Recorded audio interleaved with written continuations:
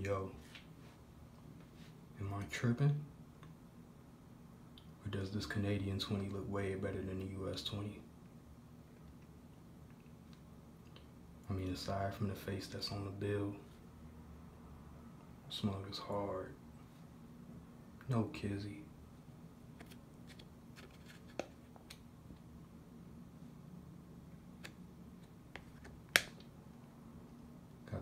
Holographic see-through strip. So clean. I mean, just for comparison, here's our good old US 20. You know what I'm saying?